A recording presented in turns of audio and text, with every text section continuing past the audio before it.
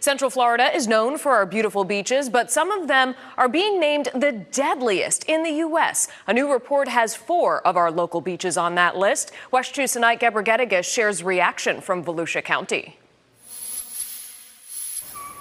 Just a small town. It's got a lot of good views and everything. There are so many things visitors and locals love about New Smyrna Beach. Oh, there's so much to do. People are friendly. Beyond the beautiful views, it's named in a new report from TravelLens for the deadliest beaches in the U.S. To determine the top 10, the report looked at the number of deaths in surf zones, the number of shark attacks, and hurricanes. You know, growing up here, it, you never thought about it as a kid.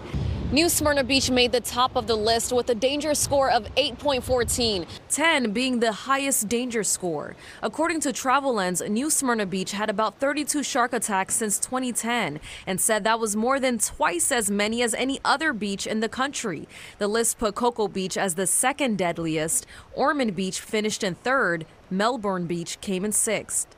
It doesn't really scare me too much. I grew up here, I've been surfing here since I was little, and I've kind of just gotten used to being around the sharks and the marine life here. But I try to surf with other people, so if anything happens, um, they're there for me, and then always make sure the staff are around. It's a beautiful beach. It's such a great place to visit.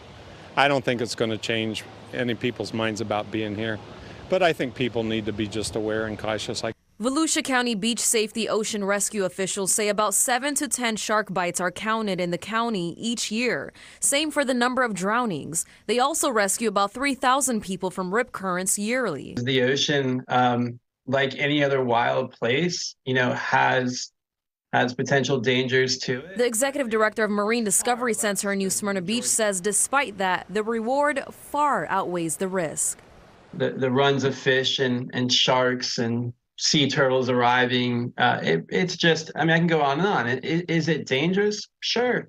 But I'm still more concerned about the drive to the beach than I am when I get there. In Volusia County, Senait Gebregiorgis WESH 2 News.